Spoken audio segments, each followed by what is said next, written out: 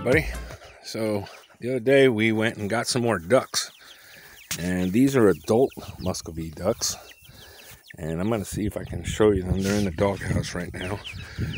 Um, let me turn the camera around. And they are not happy being in here. They might even fuss a little bit, but I'm going to peek in there. Can you see? No.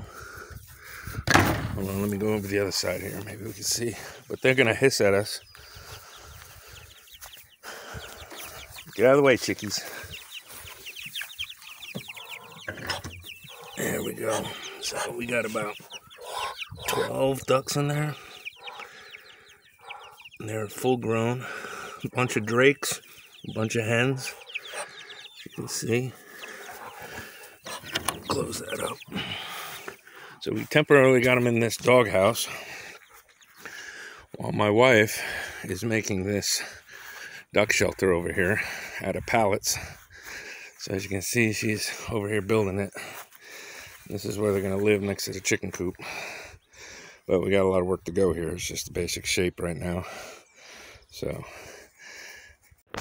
so we're happy to have more ducks on the property. And uh, also today we're going to be processing Buckaroo the goat.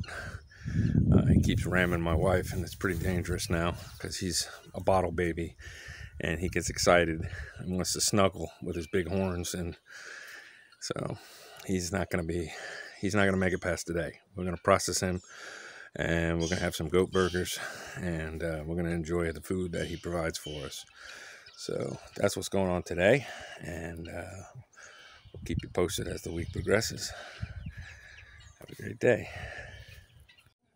So my wife has been building this uh, little hut here.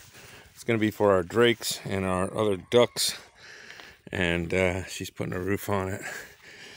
We haven't fully fleshed out how we're going to do it, but we need a little hut for our new ducks, and this is going to be it.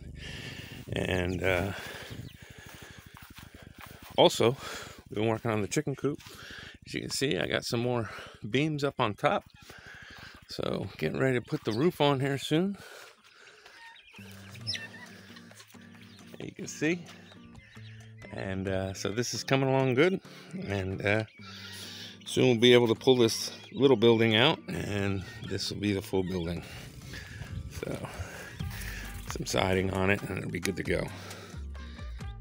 So basically that's what we got going on this week. We're just doing some building and uh, um, getting ready for the chicken coop. So thank you for hanging out with us this week, and we look forward to seeing you next week. Toodaloo.